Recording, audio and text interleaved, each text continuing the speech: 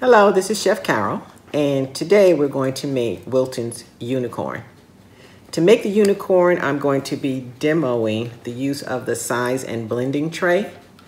However, because the process of making the unicorn and going through the uh, training is in excess of 15 minutes, I'm going to break this into a multi-part series. So this will be part one. The things that you learn about the sizing tray, if there are any questions about it as we go through the video, I'm just going to suggest that you come back to part one and look at the instructions. Let's get started. Today we're going to make a unicorn. Now the unicorn that I make today is going to be a temporary unicorn uh, because I'm going to use it, I'm going to make it using um, Play-Doh. So I'm going to use this Play-Doh or Softee Dough. I'm not promoting any particular brand um, because you make these figures and unless you have a cake that you're about to put together, you will soon have a full collection of uh, 3D figures. So for our purposes, I'm going to use Play-Doh. Now, in addition to the things that you will need in order to do this, you first want to go to the Wilton website and download the instructions for the unicorn. Now the instructions are going to give you the sizes that you need in order to make the unicorn, but the sizes are based on the use of this, um, this shape and sizing tray. Now, you may not still be able to find this in the stores, but I'm pretty sure you can find it online. So what this will do is it will give us the correct sizes that we need in order to make the legs, the arms, the heads. Now, if you don't have access to it, um, I'm going to give you some sizes and this is what you'll use to measure out your dough. So if you have a small scale around the house, an ounce scale, then you just break off those pieces and get these measurements amounts. And they're approximate, depending on the size of your unicorn. So in order to make the body, we would have to have in this tray size 11 and size 8. So we would use uh, 11 and an 8 box. And for the back legs, we would come down and we would use a 4. Uh, for the front legs, we would use 3. For the head, we would use a 10 plus a 4. And for the ears and the horns, we would use a 1. And for the mane and the tail, we would use a 2. And for the rug, we would use an 11. The measurements, if you don't have this tray, are as follows. For the body, you need 1.2 ounces. For the back legs, you need 0.35 ounces. For the front legs, you need 0.26 ounces.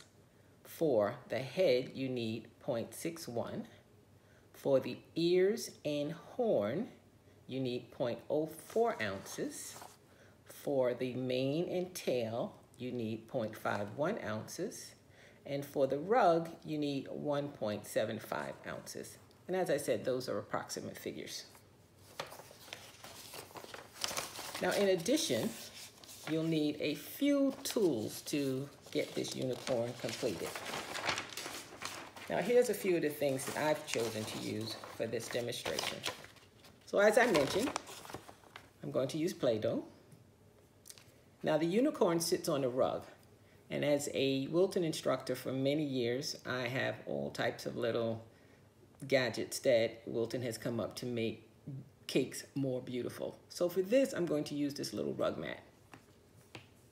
Now additionally, when I've taught um, floral decorations, this is a, a portable rolling mat that also we use to keep products from drying out. But for today, I'm just going to use this side here to uh, shape up the dough.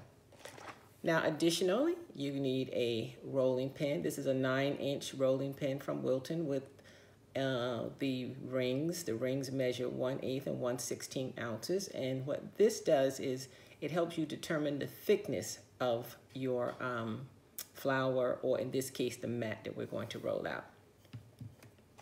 Now also, you can eyeball it, but if you're making it for the first time, it might be a good idea to have a ruler. And the ruler will help us when it says measure two inches for the legs or, you know, an inch and a half for the head. So this will come in handy. I also will be using a couple of um, fondant tools. This one is called the knife tool, and this one is called the dog bone tool. And this I'll use to put the eyes in the unicorn's head, and this I'll use to make some of the markings on the legs and on the, um, on the face. Now, because I'm going to make this a temporary unicorn, I'm actually just going to use these little stirrers to um, hold the pieces on. You could also use toothpicks as well. And if you were making this as a permanent fixture, you might need to uh, use a combination of uh, water for your fondant just to let the pieces hold. You might need like small pieces of toothpick and water just so that they will hold the ears up and keep the head on straight. So these are the things that we're going to use today to get started on this unicorn project. If you're interested in what we're going to do, stay tuned. It's going to be fun. And if you like what we do, then please subscribe and let me know that this is something that you'd like to see more of. So this is my series, the first in my series of 3D characters. Let's get started. For today's lesson, the first thing we're going to do is make the rug for the unicorn. Now, according to the instructions, we need a size 11 ball of dough. So we're going to take the sizing and blending tray and look for number 11, which is here. I'm going to take my dough and I am going to push it into all the corners and crevices of this blending tray. Then I'm going to take my knife and cut off the top.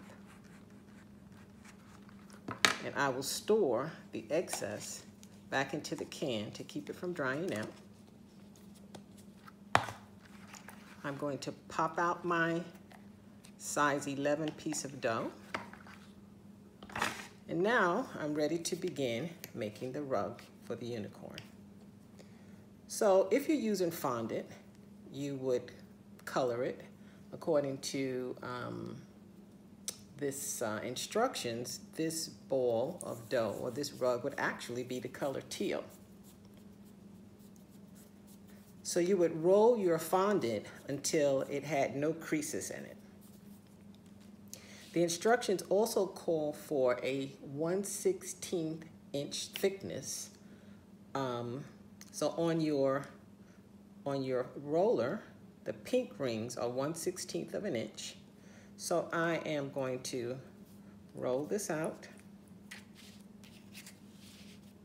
Now if you're using fondant, you might want to dust your board just to keep it from getting stuck to the board. I'm not really having a problem with the Play-Doh, but it is Play-Doh. Now I'm going to take the brick road and I am going to roll this out. I'm going to actually remove the rings because the brick rug is raised. So I'm going to roll that over. I'm going to remove the brick rug. It's nicely imprinted. Now if you have a biscuit cutter, and if you don't have a biscuit cutter, you can actually just use a can. This is a six inch tuna can. I'm going to use the biscuit cutter. And I'll cut it, remove the excess, put my unused dough or fondant back into the bowl. When you're working with fondant, you actually have to make sure you keep it covered most of the time because it will dry out quickly and uh, you want it to stay moist so that it will um, help your project stick together. So here I have my rug ready for the unicorn. I'm going to take it and put it in my spare folder. Keep it from drying out. And now we have our rug and we'll be moving on to the next item.